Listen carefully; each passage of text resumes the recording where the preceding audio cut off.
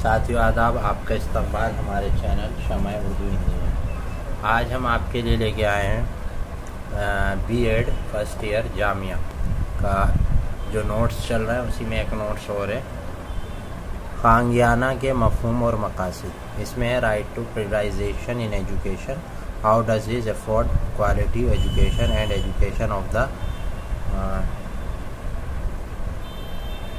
disadvantage groups explain ठीक है? तो क्या इसके मफहूम है? वो सारे यहाँ पे लिखे हुए हैं। आप यहाँ से देख सकते तालीमी इदारों में खानगियाना तालीम। ठीक है इसके बाद अगले पेज पे इसका। और सरकारी तालीमी इदारों, स्कूलों का ख़राब कारकर्दगी का नतीजा है।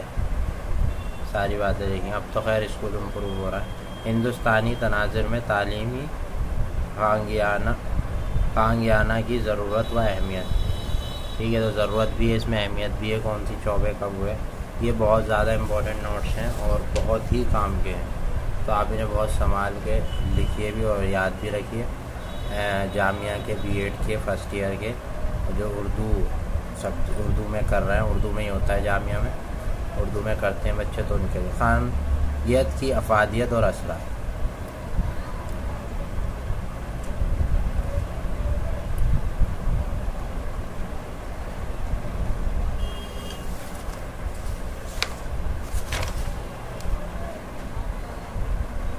खांगियाना के फ़वाद तो ये भी आप इसमें लिख सकते हैं।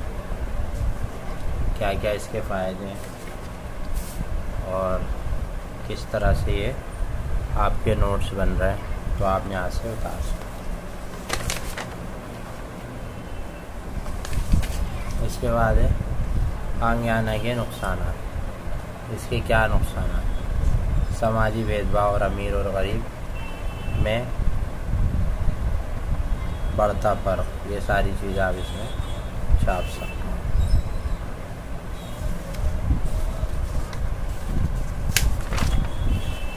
खांगियाना में तालीम का किरदार। क्या किरदार है तालीम का वाबदेश खांगियाना अली तालीम में मुस्बत सोच। अली तालीम में मुस्बत सोच क्या है? सब आप यहाँ से नोट्स देख सकते हैं। इसके बाद जो है भाई, अगला और आखिरी है ये।